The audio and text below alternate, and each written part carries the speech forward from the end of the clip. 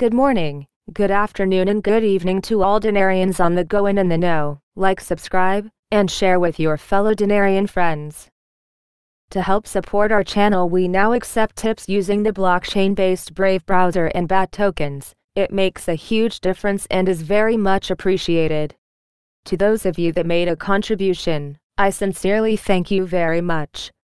If you have not done so yet, pick up your free trial copy of the Currency Exchange Planner and check out the awesome new Currency Exchange Planner Companion, voted the number one exchange planner in the Dinar community for a reason. Both the links to the powerful secure blockchain Brave browser as well as the currency exchange planner are in the description box below this video. First article of interest for today. The 2020 budget will arrive in Parliament in two weeks. This is the most prominent thing it contains. The Parliamentary Finance Committee suggested, on Tuesday, the arrival of the 2020 budget in Parliament after two weeks noting that the most prominent thing in the draft budget is the addition of financial allocations to re-terminate their contracts in the popular crowd.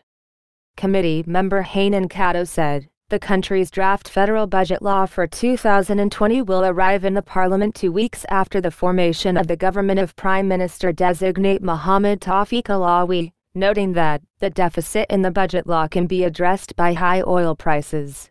And that the resigned Prime Minister, Adel Abdul Mahdi, should have sent the budget before submitting his resignation, so that we do not fall into the pain of the delay, which has seriously disrupted the projects. He added that Alawi has programs and priorities that differ from the directions of the caretaker government, not to mention the existence of many notes on the draft law, noting that the Ministries of Finance and Planning will set the broad lines of the budget before sending it to Parliament for a vote. And he added, this year's budget will contain special financial allocations for emergencies and to face the threat of the coronavirus, explaining that it will focus on slow projects. Al-Qaeda denied, there is a deficiency in covering the salaries of employees, but the government may need to borrow internally from expenses and shares. A member of the Finance Committee warned that failure to vote on the new government will negatively affect the economic and financial situation, especially the budget, as it will be dealt with according to the principle of 1 12th as it happened in the year 2014. Next article of interest. In order to continue to adopt the best electronic payment systems, the K company confirmed on Tuesday that it is continuing to modernize its systems in a way that contributes to the multiplicity of services to the public beneficiaries of the MasterKey International campaign. The company said in a statement to Shafak News, the holder of the electronic payment card MasterKey International gets ideal products that are almost not available in SOHA from the issued cards. She added that this matter created great competition within the labor market and led the company to adopt mechanisms to keep pace with the best electronic payment systems adopted globally, as well as in line with the instructions of the Central Bank of Iraq aimed at converting from a cash to an electronic society. It is noteworthy that the holder of the MasterKey International card has an opportunity to choose between the specified advances, the amounts of which ranges between 5 to 25 million Iraqi dinars, and new products are introduced in conjunction with the localization of the salaries of employees of the Ministry of Interior in Rafidain Bank, the active partner of the global company for Smart Card. Next article of interest. The Government Curriculum Committee holds its first meeting.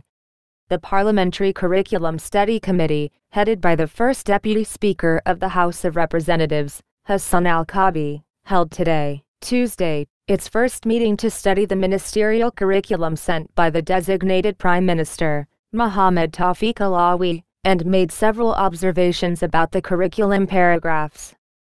The media office of the first deputy speaker of the House of Representatives stated, in a statement seen by Al Murbad, that the Committee for Studying the Government Curriculum held its first meeting headed by Hassan Karim Al Kabi, the first deputy to the Speaker of the Parliament, to discuss the ministerial curriculum prepared by the government in charge and intended to give it confidence during an extraordinary session to be held by the Parliament next Thursday.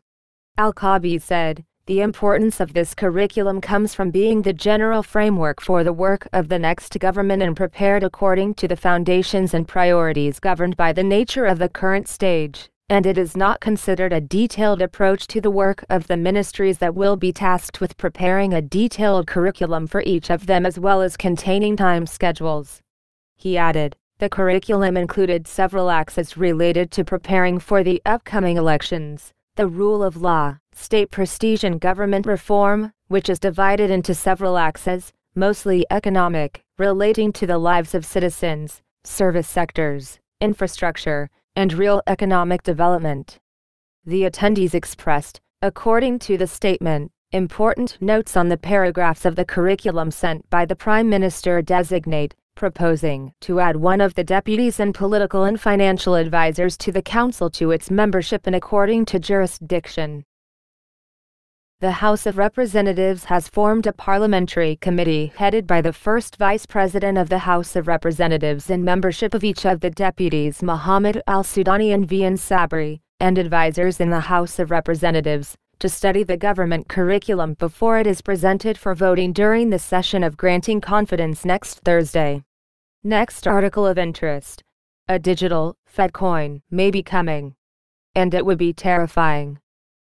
Cryptocurrencies are based on blockchain technology that allows for decentralized peer to peer transactions to take place outside the government controlled banking system.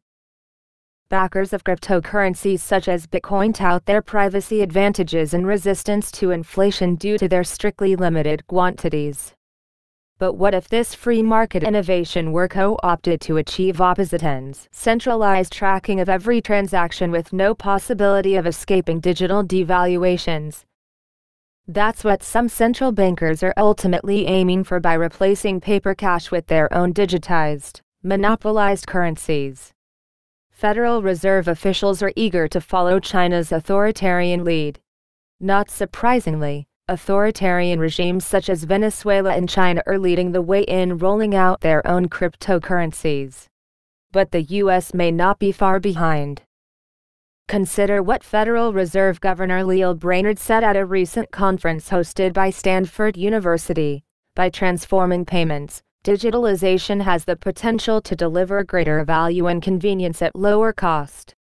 These are selling points for Bitcoin. But Brainard clearly isn't a fan of this and other cryptos gaining wider use in the free market.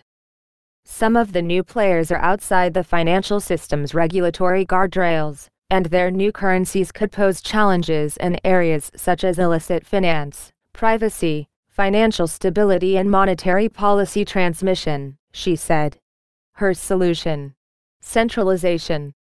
Brainard noted that the Federal Reserve is conducting research and experimentation related to distributed ledger technologies and their potential use case for digital currencies, including the potential for a CBDC, central bank digital currency. Fed Chairman Jerome Powell has also taken a keen interest in the concept of central bank digital currency, i.e., Fedcoin. During testimony before Congress earlier this month, Powell noted that every major central bank is currently taking a deep look at cryptocurrencies, adding, I think it's very much incumbent on us and other central banks to understand the costs and benefits and trade offs associated with a possible digital currency. Having a single government currency at the heart of the financial system is something that has served us well. It's a very, very basic thing, it really hasn't been in question, and I think before we move away from that, we should really understand what we're doing. Preserving the centrality of a central, widely accepted currency that is accepted and trusted is an enormously important thing.